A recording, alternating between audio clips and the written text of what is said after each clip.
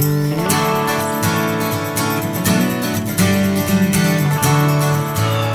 there, Ryan from KAOS Music Center here with you today. We've got another gear review for you. Uh, today we've got a very cool classic guitar from Gibson. This acoustic guitar is the Hummingbird, and it's one of their, uh, one of their most famous and, and most long-lived guitars.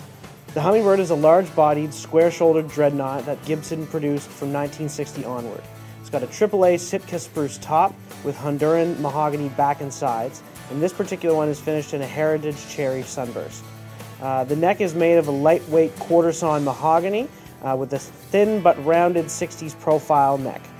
The Indian rosewood fretboard has mother of pearl split parallelogram inlays and is a comfortable 12 inch radius.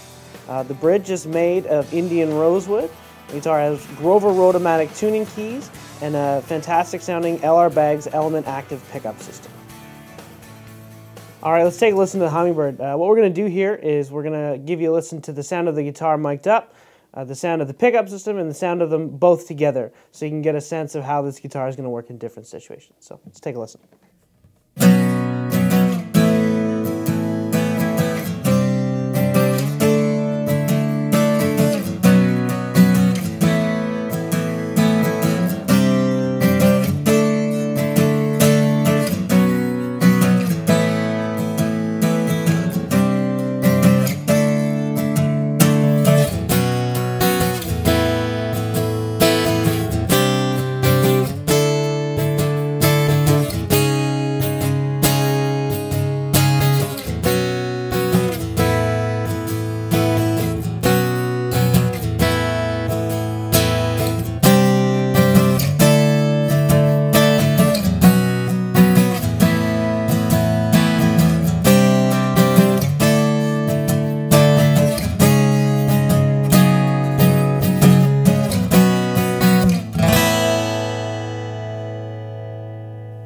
This has been our gear review on the Gibson Hummingbird acoustic guitar. My name is Ryan from KAOS Music Center. Thanks for watching.